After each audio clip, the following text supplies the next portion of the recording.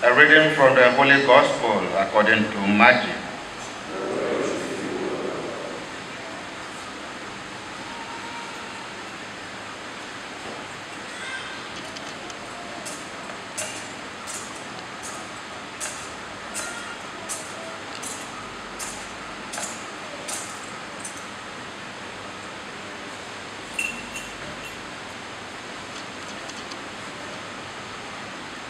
Chapter 3.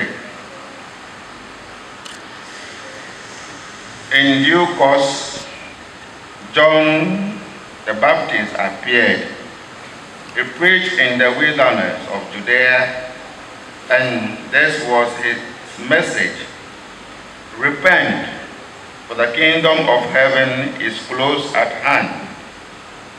This was the son, this was the man the prophet Isaiah spoke of when he said, A voice cries in the wilderness, Prepare a way for the Lord, make his path straight. This man, John, wore a garment made of camel hair with a leather belt around his waist, and his food was locust and wild honey. Then Jerusalem and all Judea and the whole Jordan district made their way to him. And as they were baptized by him in, in the river Jordan, they confessed their sins. But when he saw a number of Pharisees and Sadducees coming for baptism, he said to them, Brood of vipers, who warn you to fly from the retribution that is coming. But if you are repentant, produce the appropriate fruit, and do not presume to tell yourself, we have Abraham for our father, because I tell you, God can raise children for Abraham from these stones.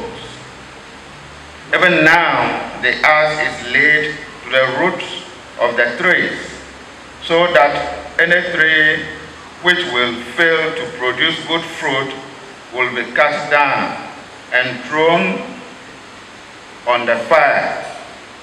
I baptize you in water for repentance, but the one who follows me is more powerful than I am, and I am not fit to carry his sandals. He will baptize you with the Holy Spirit and fire. His winnowing fan is in his hand.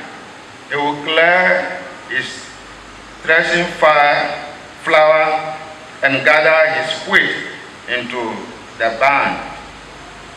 But the chaff he will burn, he will burn in a fire that will never go out. The Gospel of the Lord.